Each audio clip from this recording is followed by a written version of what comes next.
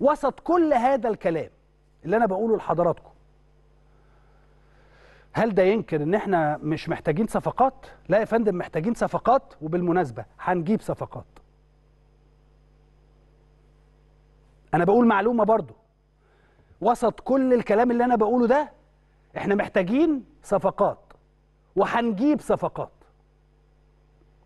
مش هنجيب صفقات عشان آه، نجيب صفقات وخلاص لا. إحنا هنجيب صفقات علشان كل فريق بطل بيحتاج على مجموعة اللاعبين اللي موجودين كمان يكون هناك صفقات جديدة تزود روح التنافس وتخلينا نقدر ناخد الدوري والكاس وبطولة أفريقيا وكل البطولات اللي بنشارك فيها. لأنه اللي موجودين دول لعيبة كبار ورجالة وحققوا بطولات كثيرة جدا وإنجازات كثيرة جدا. ولولا وقفت آه، حضراتكم في ظهرهم خلال الفترة اللي فاتت آه، آه، ال- الشباب ده كان اتهز جامد. هم اتهزوا بالفعل ولكن وقفتكم هي اللي رجعت لهم ثقتهم بنفسهم. فإن شاء الله انتظروا صفقات. معرفش كم واحد عشان ما حدش يقول لي إسلام قال.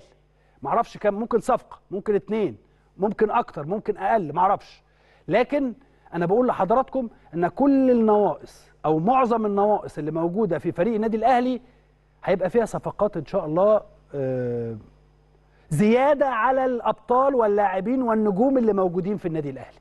لأنه الفريق البطل دايما بينظر لهذا الأمر أمر الصفقات بهذا الشكل إن هو بيلعب في خمس ست بطولات عايز ياخد الخمس ست بطولات مين هيستحمل الضغط ال- النهارده؟ مارسيل كولر وهو بيتكلم اتكلم عن إنه مش عارف إمتى هيثبت تشكيل الفريق. ليه مش عارف مش عارف إمتى؟ لأنه ما مش عارف. يعني قال لك أنا بلعب كل يومين ثلاثة ماتش. النهارده كريم فؤاد اتصاب. وان شاء الله إصابته يعني نطمن نحاول نطمن حضراتكم كمان شوية. آه، كريم فؤاد اتصاب. وبرده نفس الكلام بالنسبة لبرونو. واي حد دلوقتي ممكن معرض للإصابة وسط هذا الضغط الكبير في المباريات. فمحتاجين لعيبة وهنجيب لعيبة. هنركن كل ده على جنب وإن شاء الله نركز في المباراة اللي جاية. لأنه المباراة اللي جاية أصعب. كل ما بتكسب مباراة بتصعب عليك المباريات القادمة. ولكن إحنا متعودين كنادي أهلي على هذا الشكل. الحمد لله يظل دائما جمهور النادي الأهلي هو العامل الرئيسي والأساسي في انتصارات النادي الأهلي وبطولاته على مر التاريخ. زرع عقيدة ال- المكسب وفلسفة المكسب كل جوه كل أهلاوي.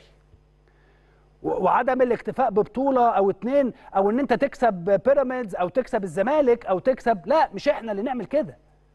نتبسط طبعا لأن كسبنا وكسبنا ثلاث نقاط ورجعنا لقمة الدوري ولكن خلاص الموضوع خلص. اللي بعده وخلي بال حضراتكم ده اللي اتقال أنا متأكد أنا معرفش. لكن أنا متأكد إن ده اللي اتقال للاعبين في غرفة الملابس. افرحوا واتبسطوا النهارده اركبوا الأتوبيس وتروحوا تقعدوا مع اهاليكم شوية وخلاص. بكرة تيجي تمرين الساعة 9 عندنا تمرينة الناس اللي لعبت هتعمل كذا والناس اللي ما لعبتش هتعمل كذا وهنجهز للمباراة القادمة. هو ده الدوري هو ده النادي الأهلي. عشان كده الأهلي غير. في, في الوقت اللي تلاقي فيه جمهور فرق كتير جدا. بيحتفلوا هيعيشوا سنين سنين عشان فازوا ببطولة أو اتنين أو أو بفوز ماتش أو كده لا. النادي الأهلي دايما اغ- اغلق الصفحة واللي بعدها أو اقفل الصفحة وهات اللي بعدها.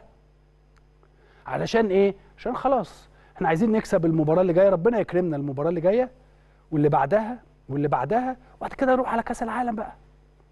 شوف كأس العالم ده قصة تانية. أنا عارف إن في ناس كتيرة هتقعد تتفرج علينا بس وإحنا بن- بنلعب في كأس العالم لكن اتفرجوا ما عنديش مشكلة.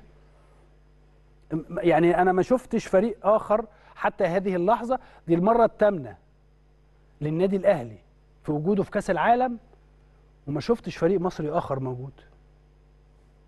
فبالتالي اقعدوا اتفرجوا هاتوا فشار واقعدوا اتفرجوا مفيش مشكلة. بس لما يبقى يجي كأس العالم ساعتها هنبقى نتكلم في هذا الأمر.